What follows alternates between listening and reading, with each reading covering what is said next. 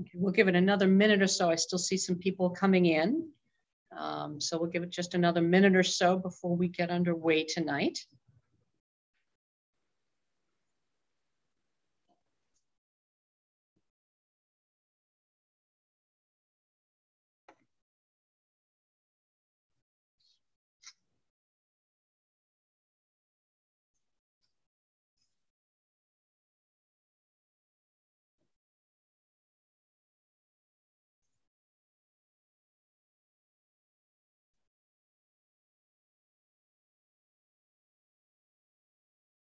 All right, it's a little after five, so I think we should get started. Uh, as many of you may already know, my name is Robin Starr, and I am the head of American and European Works of Art here at Skinner's. We are delighted to have you here this evening. Uh, as many of you know, uh, here at Skinner's, we are quite busy. We have over 80 auctions every year. Obviously, we have many in fine art, my particular favorite, but uh, we hold auctions in everything from Asian works of art to jewelry to wines and spirits to modern design, uh, Americana, musical instruments, books. Uh, we have coins. We have a wonderful range of auctions for all. A couple of housekeeping notes first and foremost, if you are on Zoom, which you must be if you can hear me, uh, if you go down to the bottom of your screen, you will see uh, in the little bar at the bottom, you will see a Q&A feature. Uh, we will be uh, doing some questions at the end of Dr. Duffy's talk.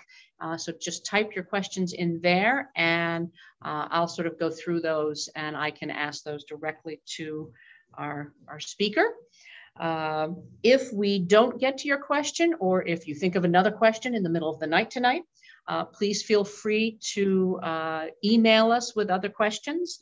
Uh, you can send that to info at skinnerinc.com or you can give us a, a jingle at 508 970 3206 and we'll do what we can to answer your questions. Uh, it's my honor now to uh, introduce to you Dr. Henry J. Duffy. Uh, he is our speaker for this evening. He's a historian of 19th century painting and sculpture and an authority on the works of Augustus St. Gaudens.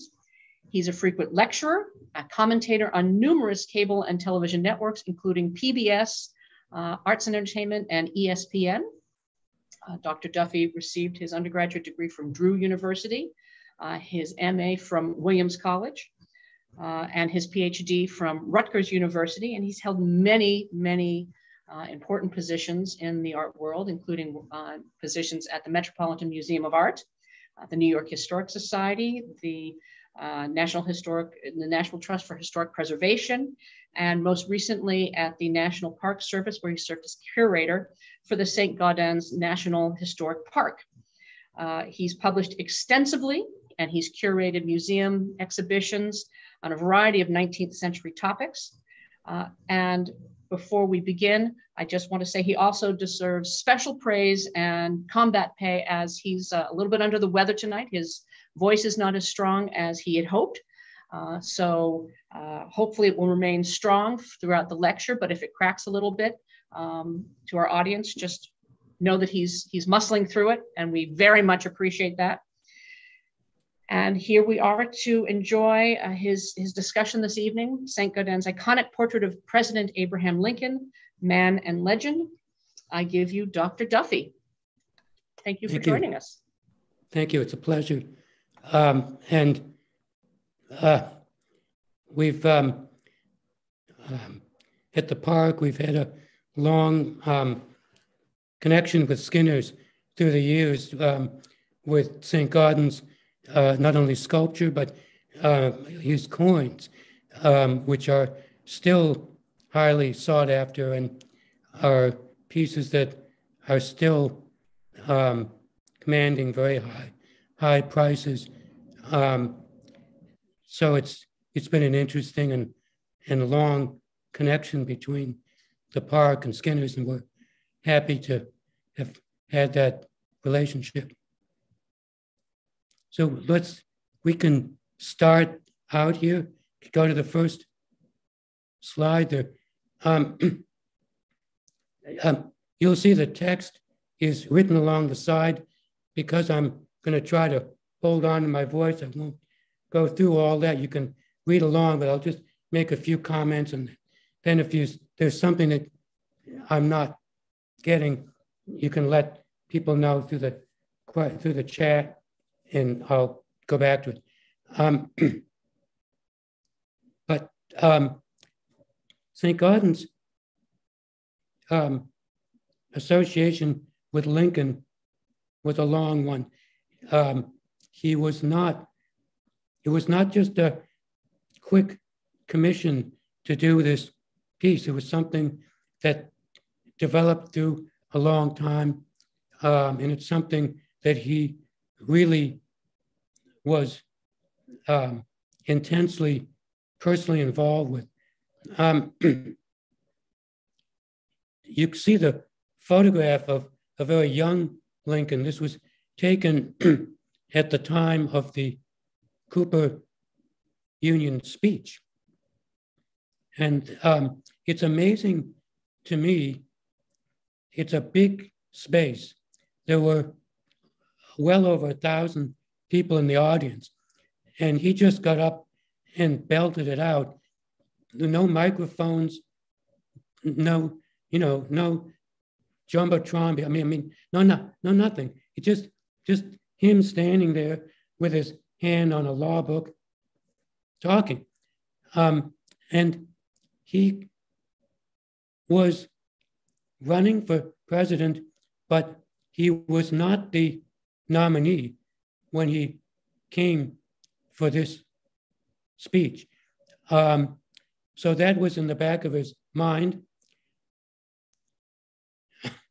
He chose to give a very crisp legal brief on the question of whether the federal government has authority over the states in matters of slavery.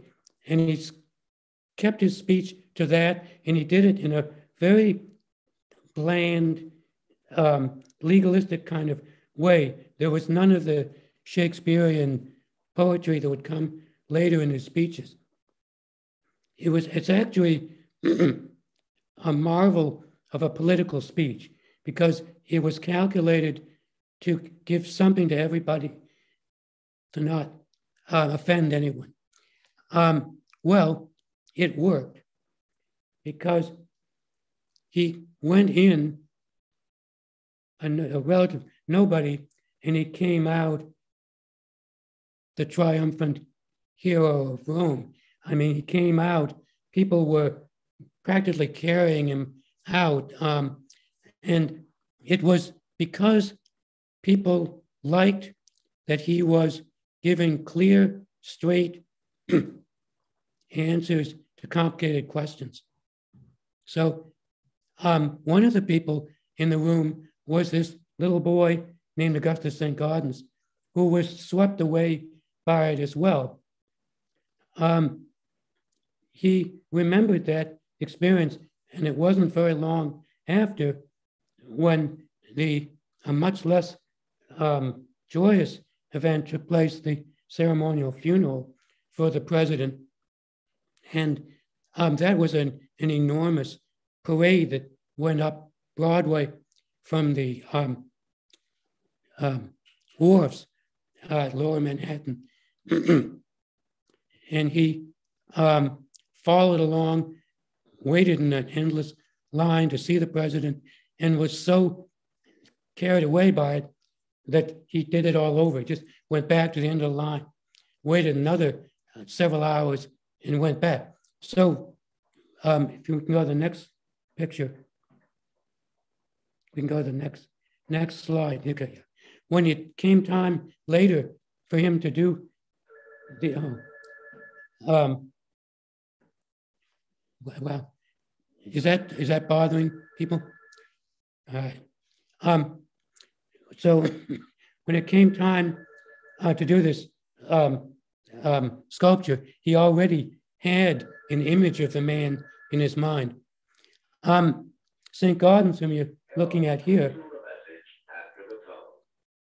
um, oh, geez. Um, oh, Life just, often goes on. doesn't it? Life always goes on. There's nothing wrong with that. we'll just let them do their thing over there. Um, so, yeah, goodbye. Yeah, thank you. Oh God, she's doing it again. All right. Anyway, um, thorough, isn't she? All right. So anyway, St. Gaudens, who became really the definition of American art in sculpture, was not American. He was Irish.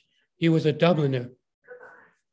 Um, and he was born in 1848, which of course was the year of the famine. Not a good year.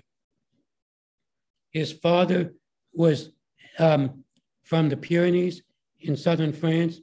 His mother was Irish from just west of Dublin.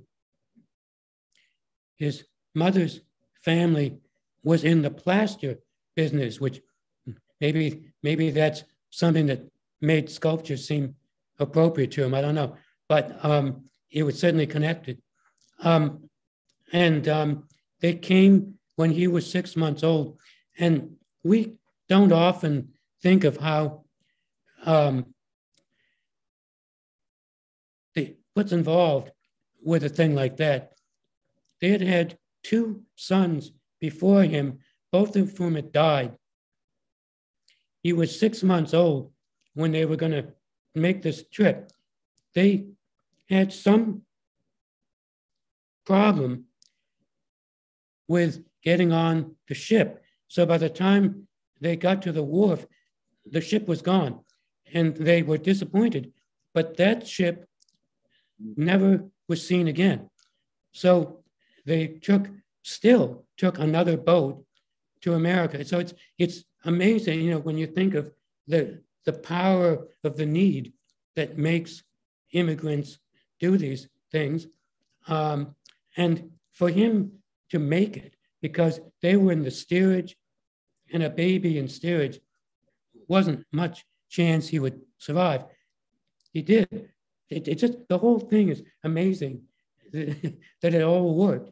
And he grew up in New York and eventually was able to go to France for training, then to Italy, um, and then back to start his career. Um, because he lived in New York, many of his best pieces are there. Um, the Randall on Staten Island, the Farragut in Madison Square, um, the um, Sherman, the bottom of the park, Central Park. Um, and um, he um, was, he became more and more active, not just as an artist, but as a um, cultural icon. Um, he also understood marketing before that was a thing. He hired a photographer. So all the images of him are by his photographer, DeWitt Clinton Ward, and they are meant as iconography. Um, it's not, it's selling not just this is a guy who makes art, but you look at this image and it's selling this is the grand woman. You know, this is the great man. This is the the um, sage. I mean, this is so they're building a um, legend as they go along. It's amazing that he had that sense in him. Um, next picture.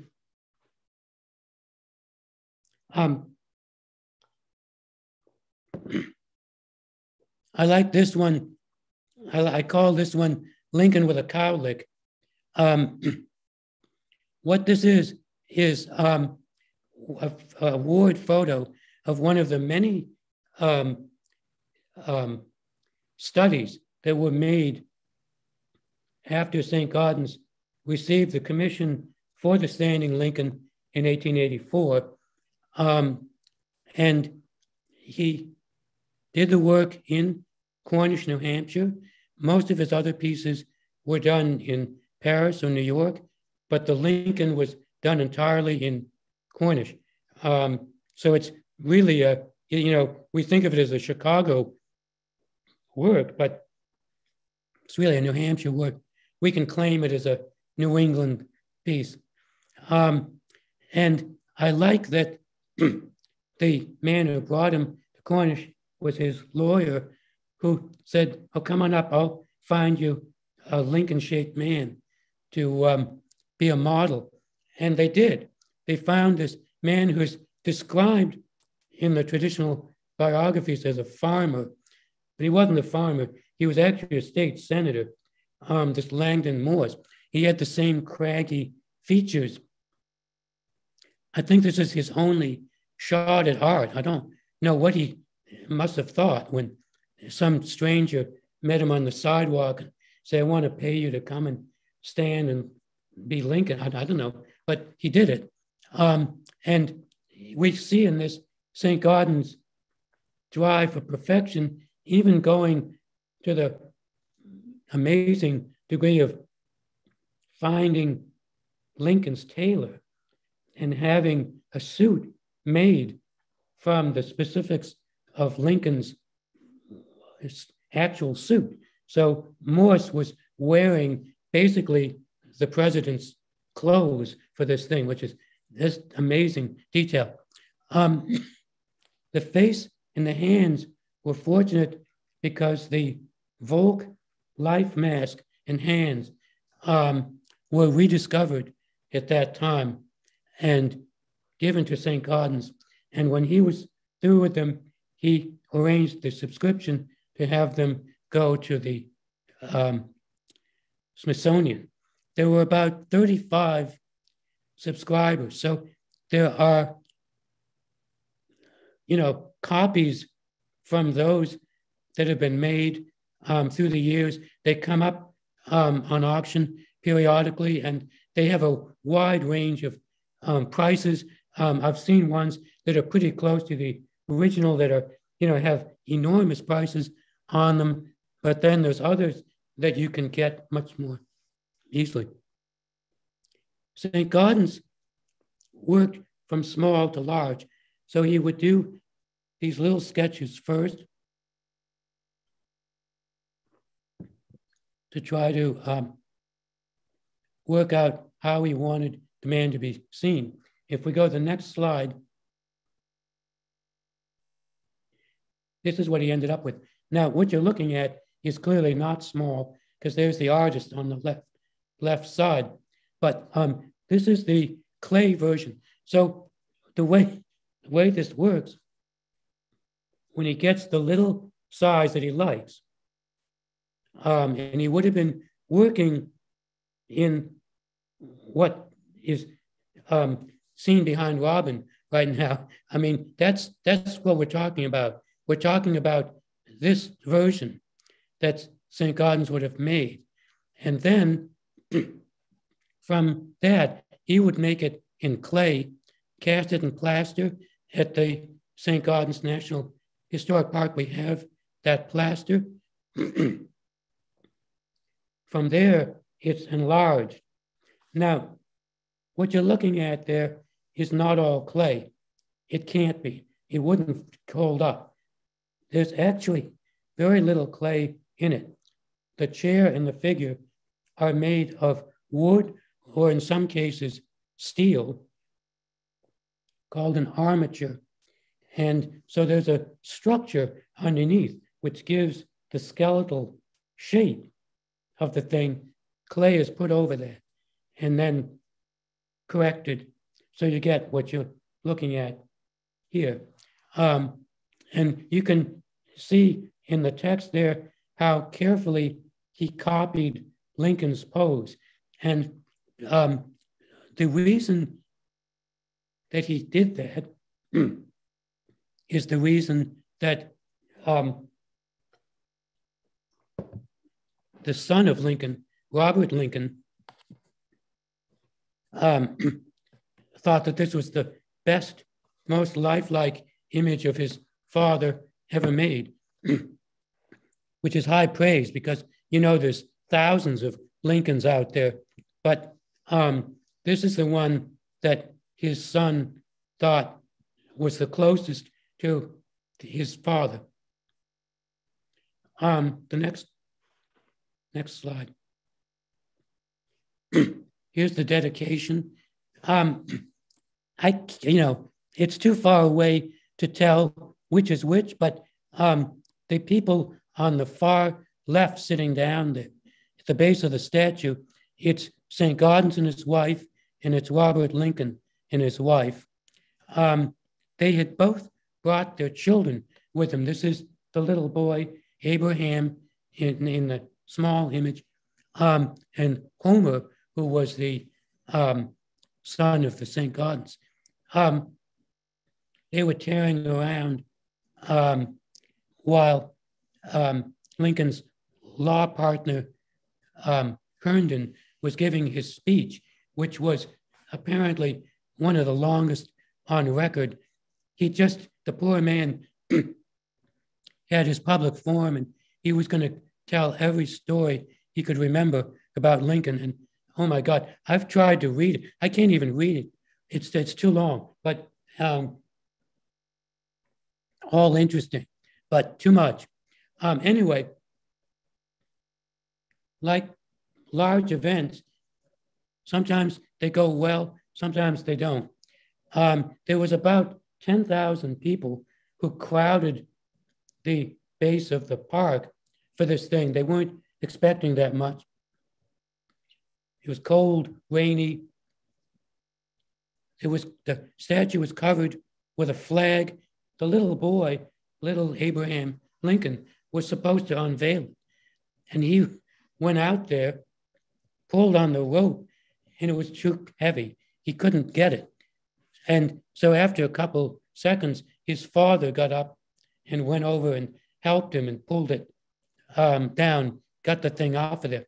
And what often happens in sculptural dedications, it takes a while for people to figure out what they're looking at. So the first few moments, there was dead silence, and St. Gaudens was sitting there fidgeting, saying they hate it, it's a mistake, oh, I shouldn't have done that. but he needn't worry because then there was just this vast explosion of sound from the crowd, which gave the military guard in the park behind the sign to start the 21 gun salute. Over on the right, you see a carriage with horses. And you see why this failed. The horses are facing away from all that. they were used to people sounds, but when you get those cannons going off right in back of them, it was too much. They rose in the traces, took off the carriage overturned. They went into the crowd. They were dragging through the crowd. It was a disaster. Uh, they finally managed to get control of it. Um, just a disaster. But it all came together, and um, the thing was done. And why do we not know anything about Abraham Lincoln II? Because unfortunately, um, he died just uh, two or three years later. Um, he had gotten a cut that became infected, and this was before antibiotics. they didn't know how to cure it. Um, there was actually a photograph taken of the little boy on his deathbed. I was looking at that, and then I thought, oh, too grim. I don't want to. But, but if you're interested, you can look that up. But I mean, I thought, no, no, I don't want to depress people. But um, it's um, anyway. So much for Abraham. He was buried in um, Arlington Cemetery with his father. His father was a Civil War veteran, and permission was given for the boy. So people sometimes wonder when they go to Arlington, why do I see Abraham Lincoln there? But it's this Abraham Lincoln. um, next picture.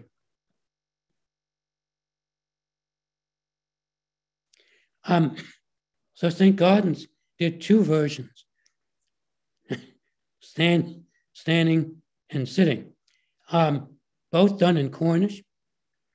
Um, the seated one was done before his death, but it was just not organized until much later.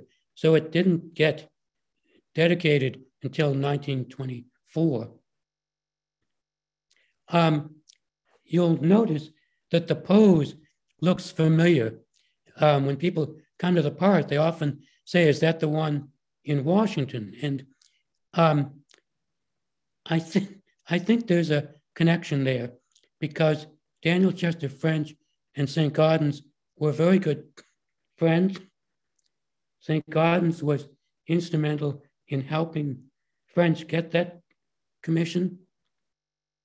So I think that the pose was in some way an homage to St. Gaudens.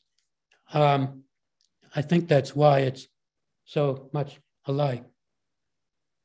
But it's the unknown Lincoln. When you go to Chicago, everyone goes to the standing one, and the seated one is not that far away, but people don't see it. Um, next picture. After the creation of it, it was a popular image. So there were numerous casts of it made. The first one in 1920 was done again with the involvement of Robert Lincoln, who had been um, ambassador to England. and this was given as a sense of thanks and friendship um, for the connection between America and Britain in World War I. Um, the next one to be made is the one that's over on the right there in Cambridge, Massachusetts. Um, it's a war memorial from 1936. And because of um, cost, they decided to do only the man and not the chair, which is a little goofy. Um, there's a there's a we we there's, a reason you do you don't mess with artists' work. Anyway, but that was done. There's one in the cemetery in California, uh, Forest Lawn, and there's one Mexico City. Things were it's a little different time. America was seeking um, Mexican friendship because of the Cold War and the knowledge that the Russian missiles were in Cuba. They didn't want them coming to Mexico. But so this was given to Mexico. The head of it, just the head, was cast separately and given to President Johnson. You will still see it in the Oval Office behind the president. Almost every president has it. Um, and um, when he received that gift in 1964, Johnson used it to unveil his landmark civil rights agenda. Um, so it this piece plays an important role in history. Um, next picture. now we get to the small images. This is uh, the one at the Metropolitan Museum. You can see it's very similar to the one at Skinner's. Now, um, how does this work? Well, as I said before, you can do this in different ways. Nowadays, artists will often take a large work and mechanically reduce it and sell that. And that's fine. as long as it's the artist doing it, it's fine. Or if it's something that's um, set. Um, with Rodin, he gave the French government the authority to make casts of his work in different sizes. So, I mean, as long as there's some connection, that's fine. But these are different. And that's why St. Gaudens reductions often um, command strong prices because they're not just a production, they're just not just a mechanical thing. This is based on the plaster version that St. Gaudens made in 1884 that was in his studio. So the fact that the bronzes come after his death doesn't really matter because they're done from um, as close as you can get. They're cast from the piece that's in his studio. So it's and it's done by the same people who did the original. Um, his when St. Gaudens died in 1907, his wife um, kept the studio going for financial reasons. she was smart enough to know don't mess with it. So she kept the employees of St. Gaudens studio on the payroll and had them continue to make these. So they're as close as you can get to something as really actually made by St. Gaudens. Um, and, and I say in the text on the side here, there was this was something that artists came to slowly in America because they didn't want to make these things like little um, tchotchkes, like little decorative things.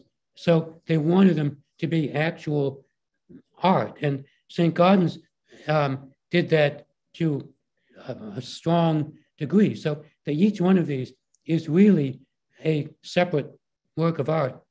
Um, you can go to the next.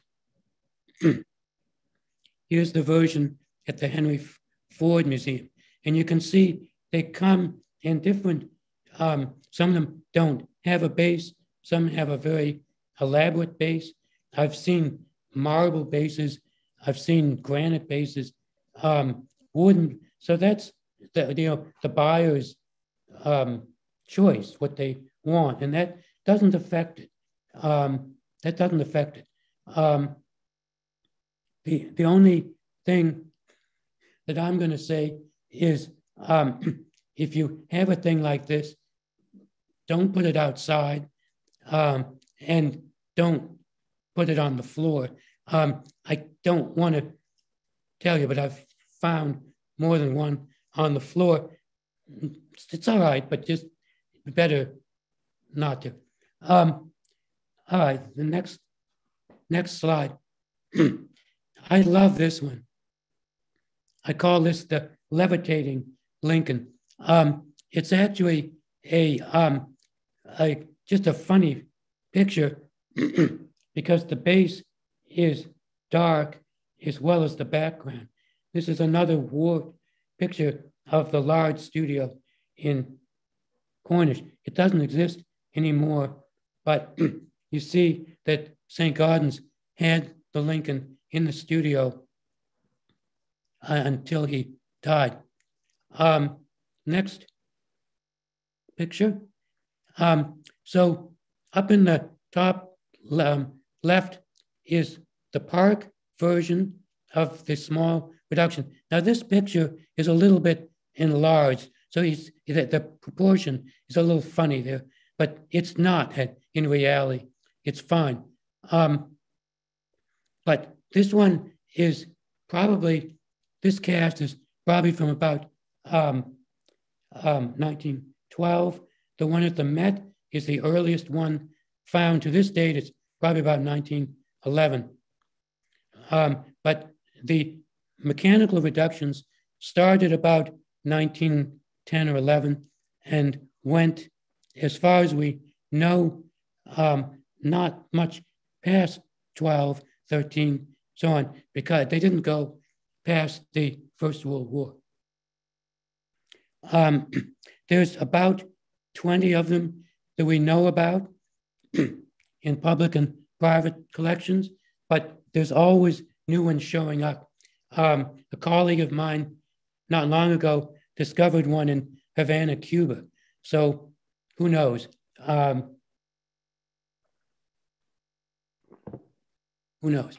Um, um, he did not, St. Gaudens did not do numbered editions, which makes the job for curators and, and um, people like Robin really difficult because it would be nice if there was a specific number. But he didn't do that because he wanted each one, he wanted to focus on each one as an individual. So none of them are numbered. So we don't know how many were made. Um, they, where I'm ending is down in the corner there. The last version of the large one to be cast came at the park in 2016 as a celebratory year. And it makes sense since the piece was made in Cornish that it should end there. Um, one of the things that was wonderful for me as a curator, and it took a good 10 years to get this thing done because you can imagine a 20 foot statue on about a six foot base takes time. Um, it, there were a lot of partners. I list some of them there. Um, it was a lot of effort, but we corrected an element in the Chicago cast that was cast differently. Um, and so we had to decide, since that's the original, is that the right one or is that the wrong one? And we decided that somebody had messed with it at one point. Nobody knew this, but somebody at one point, something happened. And it's fortunately it was in the back, and somebody patched up a correction, and it wasn't right. So we were able to correct that in our version. Also, the um, patina, the finish on the Chicago one, has been so badly handled through the years. you had no way to know what it really looked like. So I was able to go back and research 19th century finishes and find that this dark brown is the one that it should have been. Um, so it so we were able to bring back a pretty accurate version of what the piece looked like in 1887 when it was first dedicated um, in Chicago. So um, thank you. I'm I'm I'm kind of amazed that I made it through there, but thank you. Um, thank you for your patience with my scratchy voice we want to thank you for persevering. That was that was terrific. Um, so thank you so much for for pushing through. Uh, if if your voice can take it, we have a couple of questions. Now some of these have been answered. Um, somebody had several people have asked about the relationship between St. Gaudens and uh, Daniel Chester French, which you mentioned. Um, would you mind speaking a little bit to the process of how an artist might miniaturize um, a bronze. I know you were saying that these were taken from the plaster in his studio, but certainly others have been miniaturized, and that's a very common practice. Could you just sort of walk us through that technique a little bit? Yeah. Um, so, um, um, yeah, the reduction, as I as I said, is done differently with St. Gaudens than with almost, well, not can't say all others, but with most other artists. Um, most other artists would just want to get the piece done. They would have a small piece in their studio, but that's a working piece, and they're not going to show the public that. so, what happened in St. Gaudens' situation is that after he died and his wife decided to continue making these, she would find those studio studies, hand it to the assistants who had worked with St. Gaudens and would say, clean it up, make it look perfect. And they would do that. She would give her approval, um, and then it would be cast. Um, and um, so that's how that um, worked for him. And it does add this um, personal sense, which is a little stronger connection than you will often get. and now, what was the other part of the question? Um, people were just curious if you could sort of speak to how an artist would normally do a reduction as opposed to how oh, St. God. Okay. Normally, um, you would do this in the foundry. Um, and the foundry is the place where the metal is poured. to do that, you make a mold. And if it's a full piece, like a 20 foot statue, there's more than one mold. And you cast them, you, you, you make these molds, you pour the liquid metal into it, and then when they're done, they're assembled and welded together and finished. You can go in the opposite direction. Once you have those molds, you can make a positive cast in plastic. and then you go to a mechanical um, enlarging, reducing machine that will make it bigger or smaller. And then you cast it again. So it's a, it's a lot of steps, but, but that's how you would normally do it. And so normally when this is done, the artist doesn't really have any part in it. It's just done by the foundry. It's a mechanical process, and they just do it. Um, and that's what you get with artists who were not really sculptors, like Picasso, where you get Picasso sculptures and you think, well, he made ceramics and stuff, but he didn't really make sculptures. So that's something that's made in a foundry somewhere. Um, with his approval, you know, he would say, you know, I bet that would sell, run me off. I mean, I even saw um, at Kykuit at the Rockefeller House um, carpets.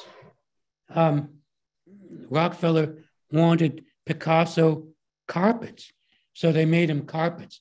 Um, you know, so and that can be done mechanically, um, and they're fine. It's not that they're, they're, they're works of art. They're not, you know, that's not um, bad. It's fine. Um, but um, that's that's the the other side of it. Hmm. That's so interesting. Um, can you tell us uh, what the variety of sizes is of um, what other sizes were made of of the Lincoln, the standing Lincoln? um, primarily just these two. They made versions of what's called the bust, which is the torso, neck, head. Um, there's two versions of that, and then there's one version of just the head. And the head is the one I mentioned that you see at the White House. But and I was scrolling through some of the uh, chat, and that's also the one that's at the um, um, Lincoln um, uh, the foundation that gives that to people. Um, and um, that's the same cast. Okay, is that referring to, we had a question about the, um, the Gilder Lehrman uh, Lincoln Yes. Prize? So that's, so that's the same one? Yeah. Okay, so that's the one you were referring to. Very interesting. Um, you mentioned that the cast in, at Cornish in 2016 is the last one. Does that mean that none will ever be made again? Why is this the last one, or is this just the most recent one? Someone Um, just to know. in general, one doesn't want to make posthumous casts um, because you're,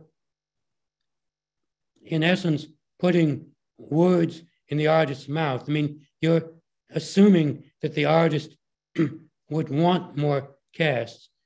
Um, the one at the park we did because it was a celebratory gesture and because it really needed to be there. And it was um, part of a more complicated process. The um, that large plaster version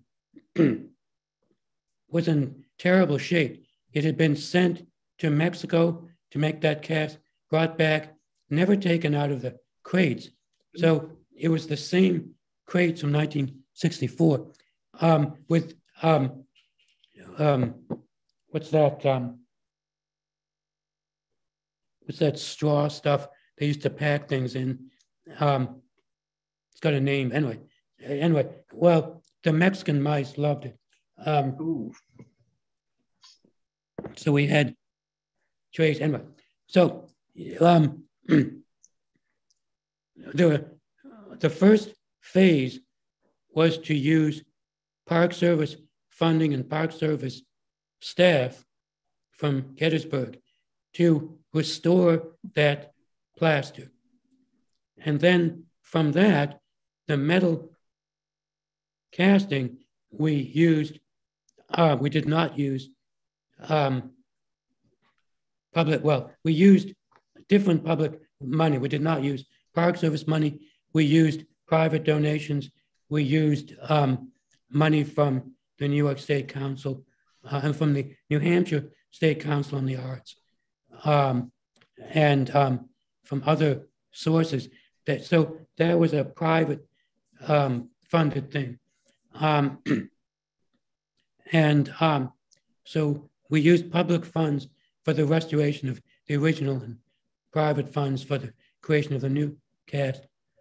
And um, we were lucky that that uh, granite base was uh, donated by Rock of Ages. Just wonderful because um, a massive piece of granite like that um, would be a lot of money. Um, there was a funny thing you, you might have noticed. Abraham Lincoln is chiseled on the front the day that that was set into the ground. And there's the same amount under the ground as you see on top, um, because it has to reach down below the frost level. we had a hundred foot crane, and it was up this massive boulder, and it's going along, and it's coming down. And I noticed that the Abraham Lincoln was on the back, so I went up to the foreman and said, "No, no, no, no, stop, stop." and he was glad because he said, "No, this is the kind of job you do once, you don't do it twice. Um, you once a piece of stone like that is in the ground, it's there. It's never moving again." Um, so um, anyway, but yeah, it's amazing how much goes into a thing like this, um, and that's true with all large public monuments. Um, um, there's a lot of work that goes on behind the scenes. And that's why public monuments are so much money. Mhm. Speaking of public monuments, someone's asking if you can talk about the vandalism to the uh, the St. Gaudens uh, Civil War Monument in Boston. Um, yeah.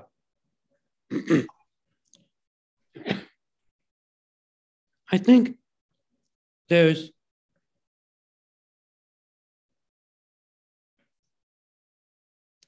I think there's vandalism and there's um, people expressing pain. And I think at the park, we recently had an example, unfortunately, on the tomb of St. Gaudens that was vandalized with anti Semitic comments. That's vandalism. I think expressing pain is something else um, because I have been um, fortunate to be a part of the committee that was working on the restoration of the Shaw in Boston and the ceremony that will come, we hope, in the spring um, for it.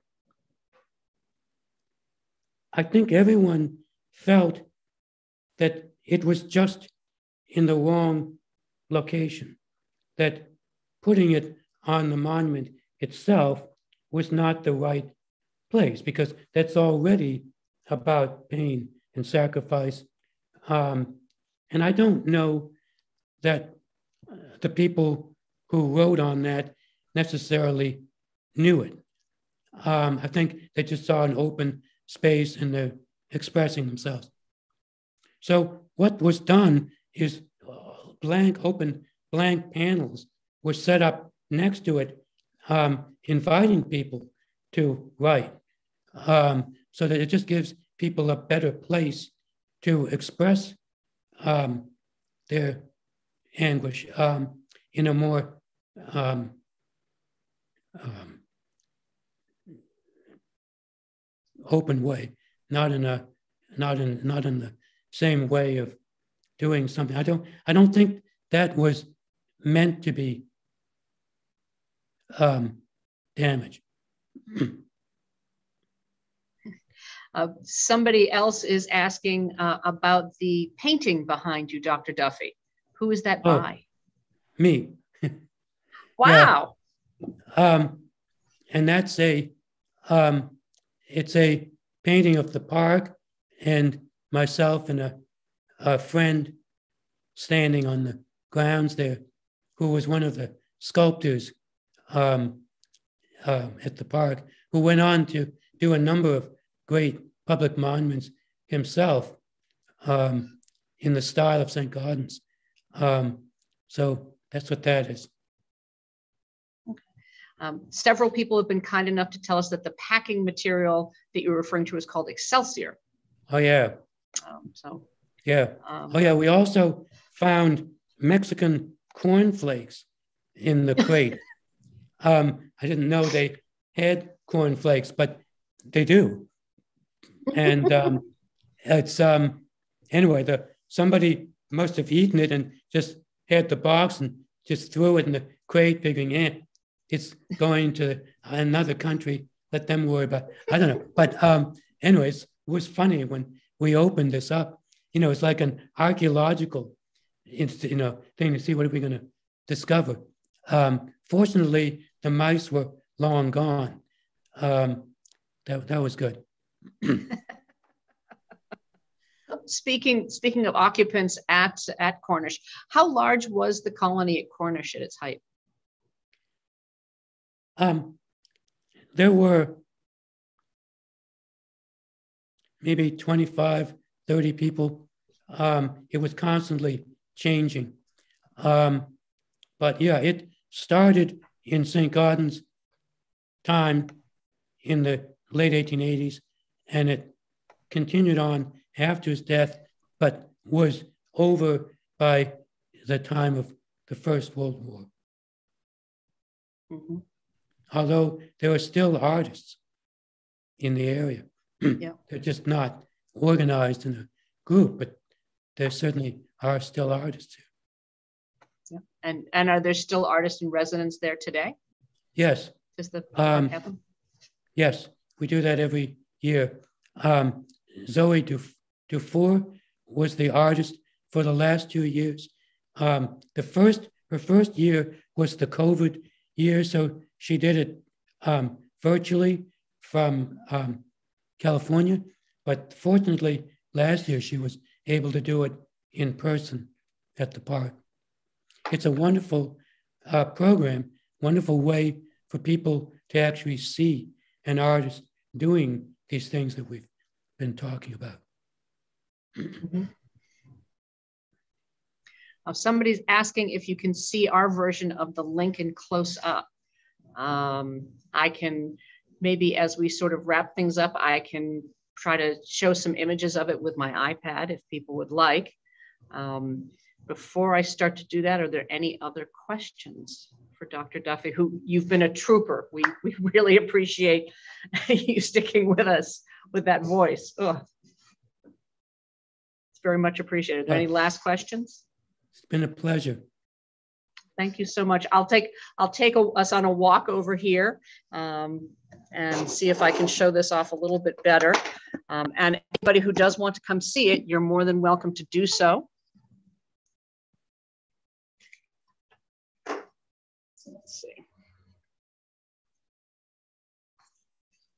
So here is our. He is. so if I turn it sideways, hold on. but here you go. You can see a pretty good view of him.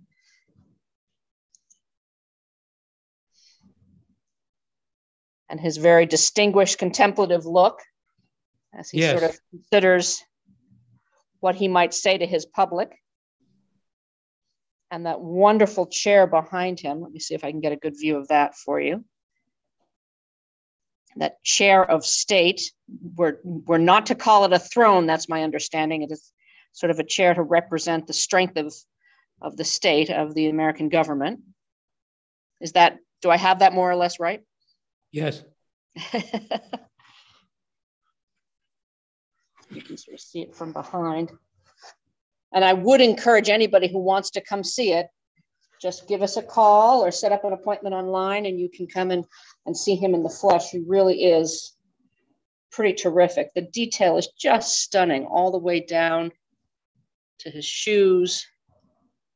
And you can see the wonderful detail in his, his waistcoat, even the crinkles of his suit and the fold in his lapel. It really is a wonderful, wonderful piece. So we encourage everybody to come visit it.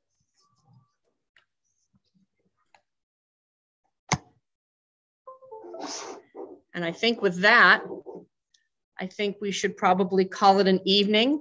You, have you've, you've given plenty to us with that voice. We very much appreciate it. So I want to thank you again, and I want to thank all our attendants as well for staying with us and listening. And we hope to see you all here very soon. So thank you again, Dr. Thank Duffy, you. for, for being thank with us again. tonight. It was thank a pleasure. You.